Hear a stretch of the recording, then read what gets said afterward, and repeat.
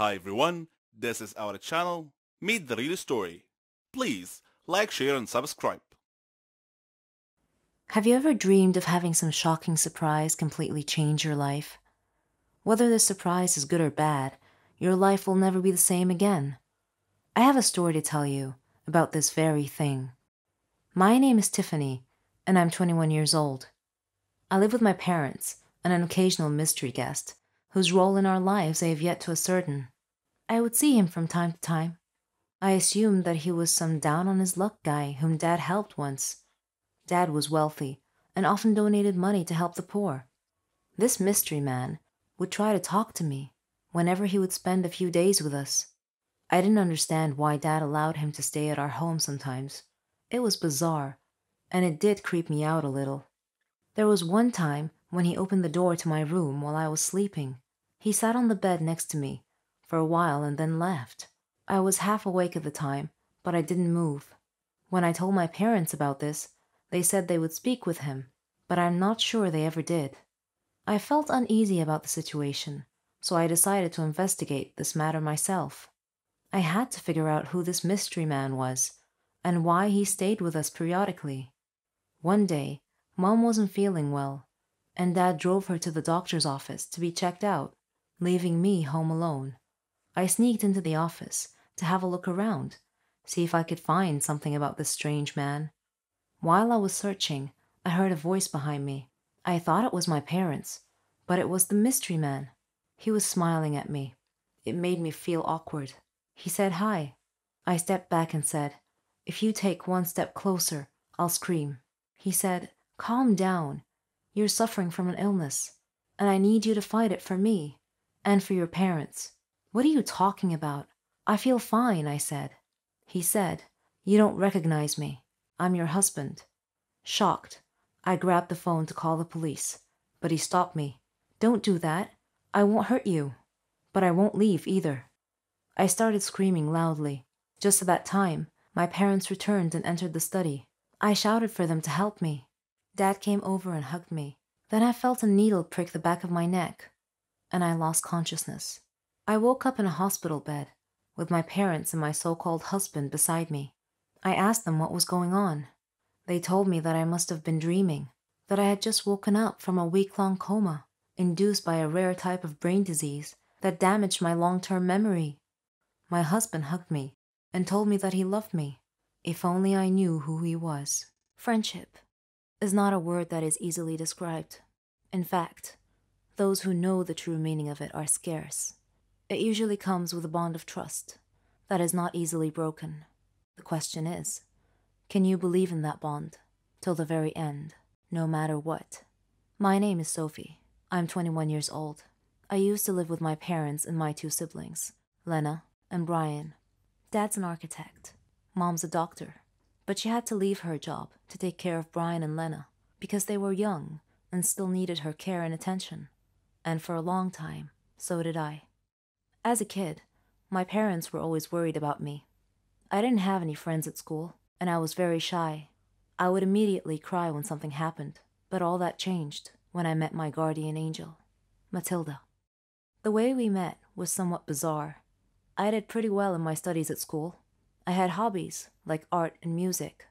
Unfortunately, there was this one group of girls who liked to bully people like me. One day, in science class, I was carrying a project I was working on when those girls stopped me and tried to take my project. Just when I was about to cry and let them steal it from me, a girl appeared and told them to leave me alone, or else they would have to deal with her. When they saw her, they looked frightened and left in a hurry. I didn't know the girl, but when I turned to look at her, I saw that she was a tall brunette with a beautiful smile. She took my project and held it for me because I was shaking and sobbing. Then she walked me to class and told me she would be back during break to check on me. As she was leaving, she called back to me and shouted that her name was Matilda and said that she would see me later. She did indeed come back during break. The clique of bully girls left me alone after that and kept their distance from Matilda as well. I asked Matilda why they were so afraid of her. She laughed and said it was a long story, but the short version was that she beat them up once and they became afraid of her and stayed clear ever since. I asked her how she knew that those girls were always bothering me. She said it was pure coincidence, that she had happened to be in the classroom the day they tried to take my project from me. She said that I looked so helpless that she decided to step in. I asked her to be my friend. She teared up a little and said, Of course. And from that day forward, we became the best of friends. I was cheerful every day now, and we grew closer and closer together. The happiest days of my life. Her story was unusual. Her dad was a boxer. Her parents split up because her mom couldn't stand the thought of him risking his life boxing every day, so she left. Her dad did his best to look after Maddie and her two little sisters. Then, one day, he was killed by thieves who robbed him as he was coming home from work, leaving Maddie to raise her siblings alone. This heavy responsibility matured her and toughened her character. She taught me to be bold, to love adventures. I feared nothing with her there. I dealt with situations decisively, without hesitation. We were like two separate halves of a ship sailing in the dark that happened to find each other one night and came together to complete each other. This was how I met Maddie, and our friendship grew stronger year after year. Maddie and her sisters were like my own sisters. We were all one big happy family until something happened that disturbed the fabric of our universe. I enrolled in the College of Engineering, while she enrolled in a different college. The first year of college was difficult for me because I missed Maddie so much, but then I tried really hard and focused on my studies. In my third year, I met Matthew, a player on the college basketball team. During that time, I was working for the college newspaper, and I was assigned to interview him. He was smart, handsome, and had an inspiring story. His parents died when he was young, leaving him responsible for his younger brother, so he decided to work and earn money while pursuing his dream of being a basketball player. By the time we met, he had a chance to play in the NBA. We had a connection, and he proposed to me. I wanted to tell Maddie so badly, to share this wonderful news with her, but I couldn't. Maddie had completely disappeared that year, and I hadn't seen her at all. I didn't know where she was or how to reach her. Then, one day, I got a call from her. Her voice sounded distressed, maybe because her responsibilities were such a burden on her.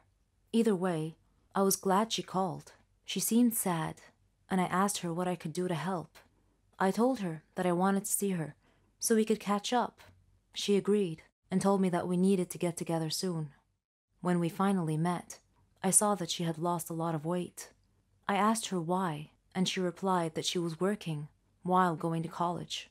She wasn't looking after herself at all, but her eyes told another story. I told her about Matthew and that we were getting married soon. She smiled, but her joy seemed affected somehow. I didn't know how to describe it. Perhaps it was the disconnected look in her eyes. I wanted to introduce her to Matthew, but apparently they had already met. They spoke politely to each other, but there seemed to be something between them that made us all feel uncomfortable. I didn't know what it was. A while later, Matthew was always nervous about something. He always seemed to be busy with training or games. But was that all there was? At the same time, Maddie had started acting weird as well. Something was going on between them, but I couldn't quite put my finger on it. Whenever her phone rang, Maddie wouldn't answer, or even look to see who was calling. Shortly before my wedding, Maddie had disappeared again without notice. Matthew went back to his normal self, and everything seemed to be fine. The wedding ceremony was going beautifully, until we got to the part where the preacher said, Anyone who saw a reason why this marriage should not take place, may they speak now or forever hold their peace. Well, it turned out that there was someone who saw a reason why this marriage should not take place, and that someone did speak up. And much to my amazement, it was Maddie. She shouted that Matthew was her fiance, and that he had deceived her and left her for me. Matthew looked at her with a perplexed look on his face, as if this was news to him. I felt like time had shifted into slow motion. I had to be dreaming. I couldn't imagine why neither of them told me this before. I looked at Maddie and asked if it was true. She said, I'm done lying to you. I don't want to act anymore. Meeting you has been the most horrible thing that has ever happened to me. My life was going well till I met you. You got everything you wanted, even Matthew. He chose you instead. I was staring lost for words. Tears started running down my face. Please leave, I said quietly. Maddie was crying too, yet she smiled and walked away. I didn't understand her behavior. Why did she smile as she walked out of my life? Days later, the answer revealed itself. Matthew and I knew each other well, and what happened at the wedding did not affect us at all. Still, I could see it in Matthew's eyes. He had something to tell me, and one day he came inside the house with tears in his eyes. I asked what was wrong, if his family was okay. He nodded and said, They're all fine, Sophie, but there's something I've been wanting to tell you. During those times, when Maddie disappeared without warning, it was because she kept a secret from you. She had a terminal disease. She was dying. I was shocked. He continued and said that she had arranged the scene at the wedding to make me hate her, so that when she died, I wouldn't feel grief or sorrow. That she had loved me so much. Soon after our wedding day, her disease took a turn for the worst, and she died. I was still standing in shock. He gave me the letter she wrote me Dear Sophie, I'm sure that up to this point in time, you didn't understand my strange behavior, my sudden change. It was necessary to protect you from the shock of my death.